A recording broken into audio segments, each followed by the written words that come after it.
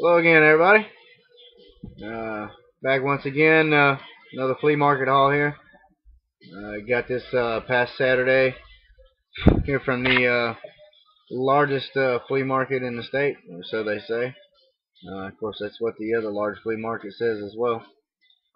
Um, this here guy here, it's one vendor there at this flea market. He has a lot of boxes of quarter books, so I'd love to go there and go through those first, see what I can find. And uh, picked up some of his, uh, you know, dollar, uh, two dollar books, um, a couple of four dollar books uh, that are a little older, a couple of uh, Silver Age, uh, Gold Key, and some Dell. But, uh, we'll start here with some of these uh, 25 cent books I picked up. Uh, first one there is uh, Morbius number one. Still in the uh, original bag, seal with the poster.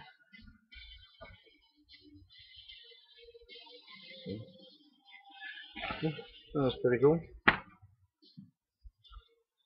I found a uh, issue of Cloak and Dagger number one. This is from the uh, short-lived regular series. That was a loose bag issue, but you see the pages are a little off-white. Not in bad condition there, though. That was a quarter. Also found number two Cloak and Dagger from the four issue limited series.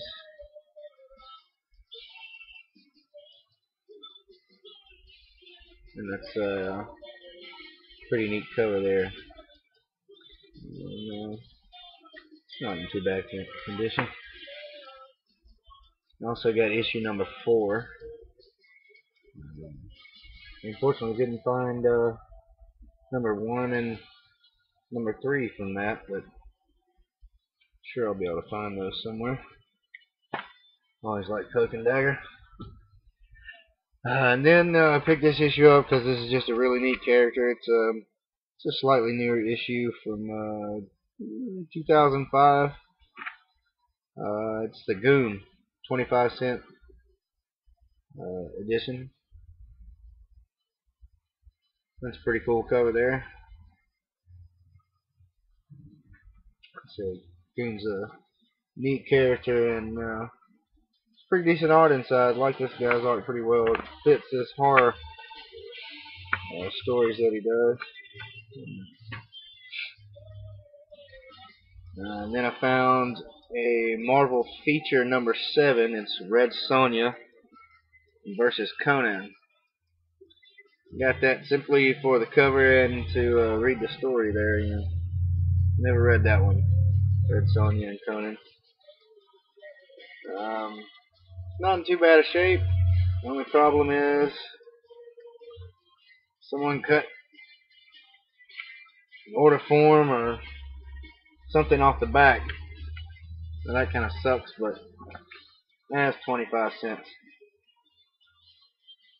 Looks like some pretty decent art. Like said, it's Red Sonja versus Conan, 25 cents.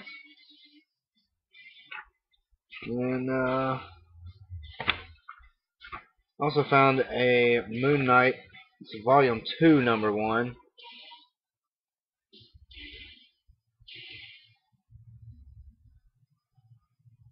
No, it's not too bad. The cover's still pretty good. Interior pages aren't that bad. So, yeah, check that out. Uh, another newer book. This is uh, only a couple years old here. It is a first printing. It's uh, Mystery Society number one. Kind of wanted to check this title out. And, uh, this is in pretty good condition here. Well, it's newer, so it's still in very fine near mint condition. Art looks pretty good in here.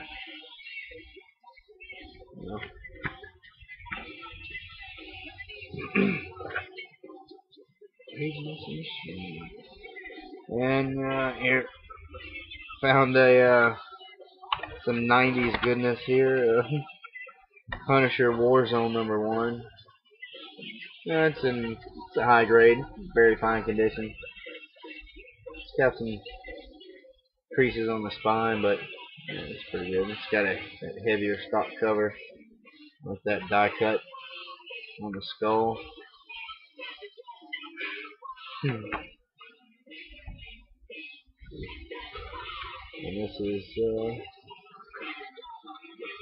think this was his uh, third title. he was really popular in the 90s there for a while.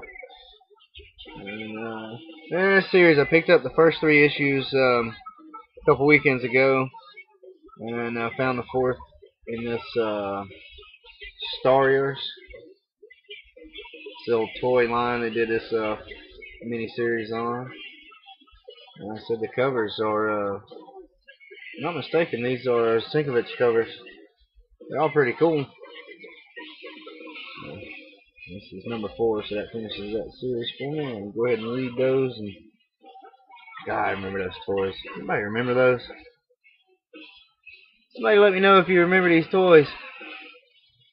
I know I had a couple. I had a blue one. It was like a, yeah, this guy here. I remember having that one. And another one I can't remember which one it was.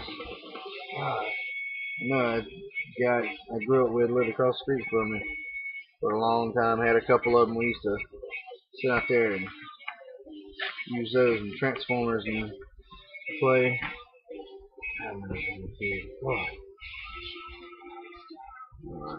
Here on to uh, some of the little higher price books, dollar, two dollar. The most I paid was four dollars, and then he takes 25% off your total. So everything ends up being a little bit less than um, you know the price listed, which is pretty cool. Here's a uh, pretty good condition, um, probably a fine minus. I'm not gonna take it out right now, but the pages are off white to yellow, not too bad. Still readable, cover's still nice. Let's see, it's an Iron Man 94. Little older issue there. I'm trying to pick up some of these uh, older Bronze Age and Silver Age uh, issues. And then here, uh, character I've always liked. I unfortunately just for some reason never picked up too many uh, issues, but uh, I always got stuck, you know, got caught up in the X-Men. But uh, gonna start picking up some more these older Ghost Rider. Here's issue number 50. He had marked for a dollar. That's actually got the uh, it's Johnny Blaze and then the original Western Ghost Rider, which they changed the name to Night Rider. But, uh, yeah, it's in pretty good condition. It's I don't know, VG plus, fine minus. It's not bad. And here I found some more of these uh, Dell and Gold Key, uh, and actually a Whitman with these uh, couple of these Turok Son of Stone.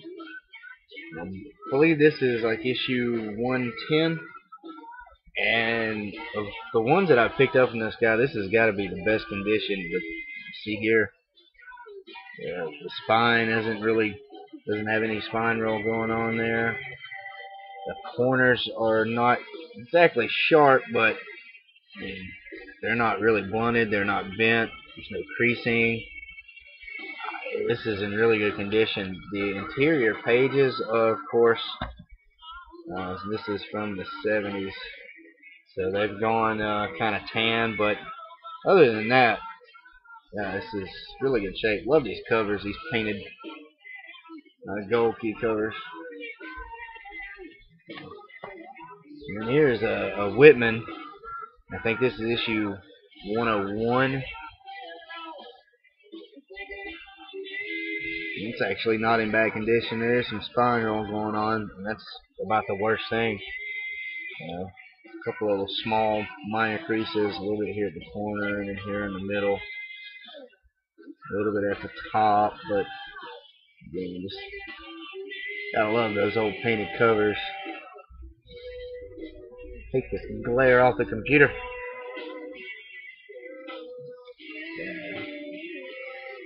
And then this, yeah, in the box, it's it, it's in okay condition. I mean, uh, you can see it's got a little color fading, and the pages inside are tan.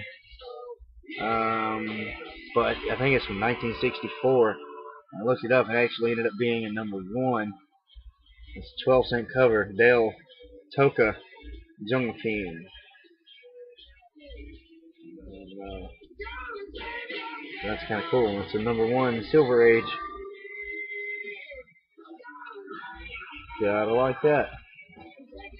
He said it's not in the greatest condition, but uh, it's still readable. I say it's it's in a good it's in good condition. Not quite VG, but dollar fifty, twenty five percent off. Excuse me. Let me take a drink. Talking too much.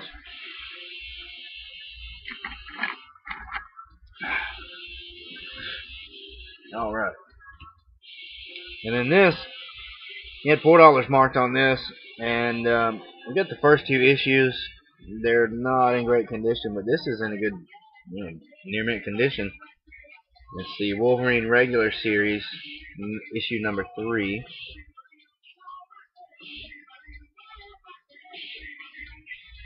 and uh, four dollars, and it's a sixteen dollar book. So.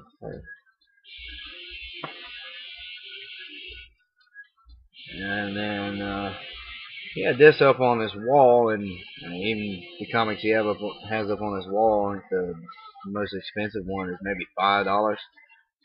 Uh, I saw this. I just like this cover. It's a neat looking character on the front.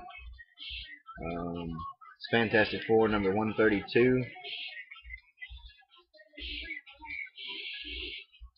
Never really got too much into the Fantastic Four.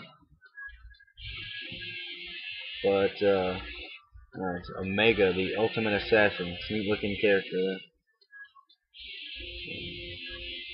Yeah, for $3, so, you know, good Bronze Age Fantastic Four. Yeah, these last two, uh, my girlfriend actually going through some of the boxes with me, and she pulled this up and asked me about it. And uh, I used to collect a lot of Batman comics um, all through the '90s, the whole Knightfall saga when he where he broke his back and uh, you know his Bane and everything. But um, then kind of got out of Batman and uh, focused more on X-Men. But uh, this is a little older issue of Detective Comics. It's number 427.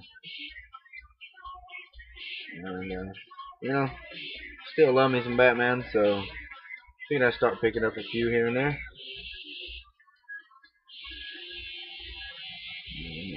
Not bad condition. I'd say it's, um, you know, VG plus, fine minus maybe. A little creasing on the spine, but see, not too bad. A little bit of spine roll, but it's uh, still pretty good. And in here, this is, um, I, I'd say it's a VG. Uh, there's some creasing and a little damage here at the top, but it's Teen Titans from the original series, I believe, or at least from the 60s. Uh, this is issue number 17. So there's a little bit of damage here in the middle. And uh, a few creases on the spine, and there's a crease running right here and right here that are kind of hard to see. They barely, barely break the color. They do break the color, unfortunately, and then one down here through the bridge. But also, it's just a weird character. Return of Mad Mod. Hmm. yeah. still not bad. Got it marked for four dollars. Add everything up, 25% off. Pretty good deal. Uh, always like going there. Um, I don't think it did too bad. Hey, you guys uh, like to let me know what you think. I appreciate it. Uh, just uh, hit me up in some comments. Comments. And uh, appreciate it. If you'd like to uh, like videos and uh, subscribe, it'd be awesome. And again, we'll everybody take care, and we'll catch you later.